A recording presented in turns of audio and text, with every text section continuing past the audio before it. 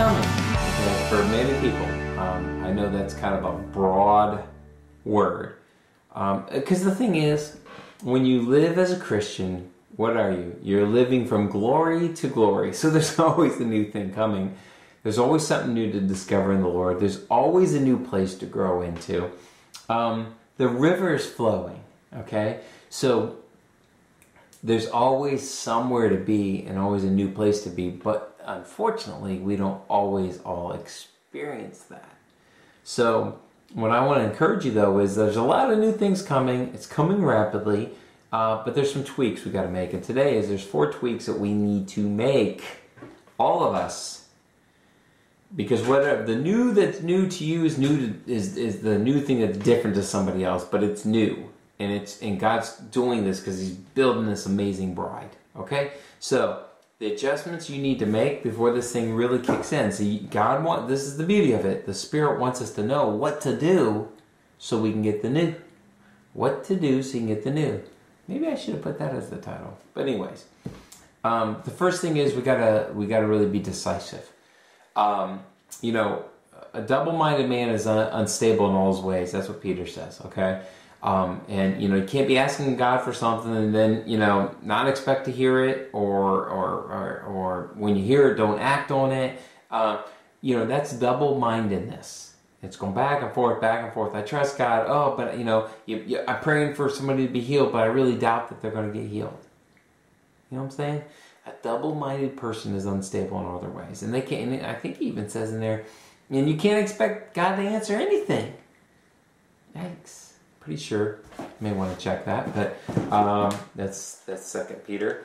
Uh, but that's not the point of, of, of, this of this brew. So I'm, I'm actually just going to move on. So if there's a correction, I'll, I'll, I'll do that. But anyway, so we got to be decisive because there's decisions that we need to make, and you got to make them in light of the Holy Spirit. And here's the key: when He tells you what to do, you got to listen and obey. I'll give you an example. A number of years back, I had a business relationship with somebody, and, and I was really looking at it because it looked like a lucrative business relationship, and and, and I was very excited because it looked like for our business it was going to be great income stream. And he brings into my uh, life this this um, new age movie, and he has me watch it, and it's got principles of the kingdom. And I'm going to tell you something. You want to know the difference between new age and the kingdom? Is the new age recognizes that this book is full of true principles and there's things that work, but they leave out Jesus and they leave out the truth of clarity of the truth of Him is the only way and God the Father. They create their own gods. But long and short, what happened was the Lord gave me a picture of a meat cleaver with a relationship on a chopping block. And I saw him cut it. He told me, You better cut that thing off right now. And it cost us business, it cost us real money. But at the time, I was not spiritually in tune and discerned to a lot of the things I am now. I was still growing up. But I, I had to be decisive to make that decision. I called him in my office and he was in shock. He said, God told you, you know, he was just, but the point was, now that I know what I know now, our dad was good. Whew, was he good? Would have opened my whole self up to a lot of witchcraft, a lot of stuff that just you don't need okay? Because then you got to spend time getting it out. So he just cut it off. Well, and I'm not saying that's for you. What I'm, I'm giving it as an example. Sometimes you got to be just decisive, and it may not make sense, or it may look like it's going to cost you something that you don't want to pay the price for. But it's okay. Ask Holy Spirit. He knows what to lean out, knows what to do, and then listen to him, obey him, and trust him. Okay? But you got to be decisive. Whatever the decision is, be decisive. Second thing we got to do, the number two tweak, is you got to let it go. Let it go. I'm not going to say, if my wife watches this, she'll be like, I can't believe you just did that.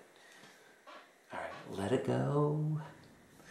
Gotta let it go. There's things to let go of. I don't know what it is. But, you know, my sense was as, as I was preparing for this was, uh, you know, sometimes outcomes that you desire, let it go. Let God unfold it. He's the author. He's the finisher. Let him unfold it. Because if you're, because the problem is you hold on to an outcome, it doesn't happen, and then you start questioning because you think it's got to look like this. I don't know what this all looks like. I don't want to have fun. So I know He wins. I know we're His. I know we're going to be glorious and spotless. And uh, it's going to be awesome, right? So I, I know I trust them. So outcomes that you desire, expectations of how things should be, what it should look like, what revival should be, and how things should be. Let all that go. Jesus never did the same miracle.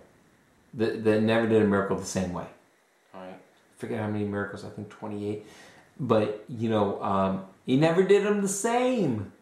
Why? Because we got. We, he knows us. We love form. We like to formulate. We like to come up with the way things should be done. Like four tweaks you need to make.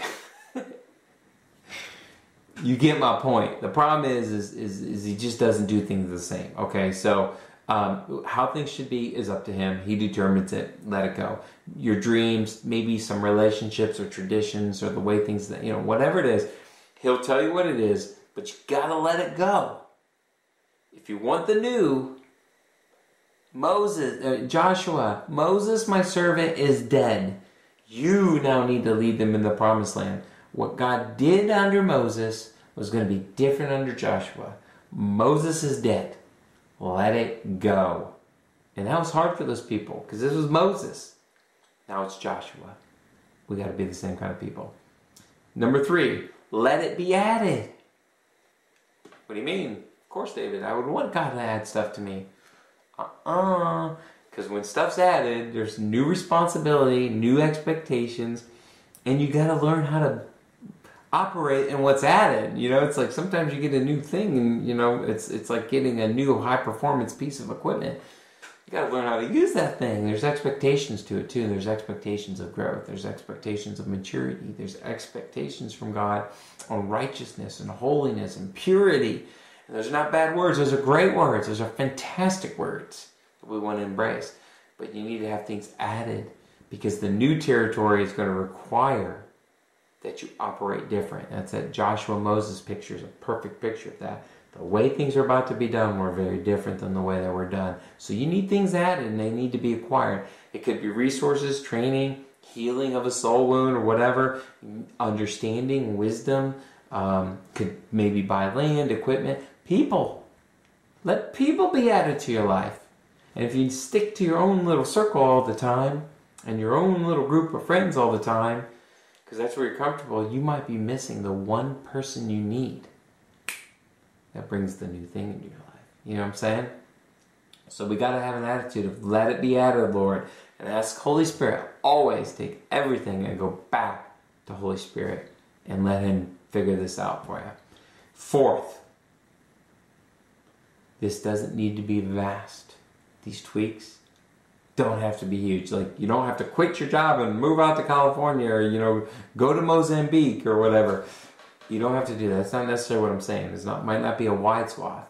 Um, it could be just minor tweaks, okay? But they keep you on course. And as you're climbing the mountain, you want to stay on course, okay?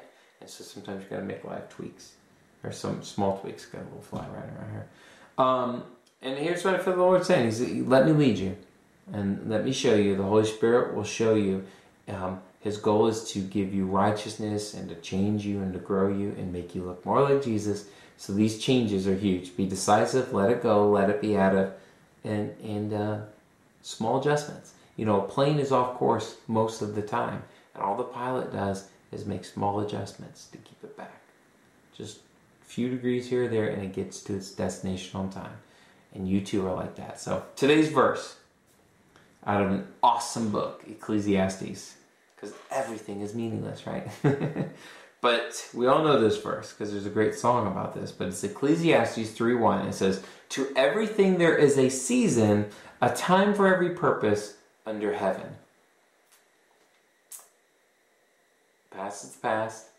We're going forward in the future. A new thing is coming your way. All right. So as always, remember you are light, salt, truth, and love. And so you keep climbing, you stay in your lane, and you stay in love. And we'll see you for the next morning brew.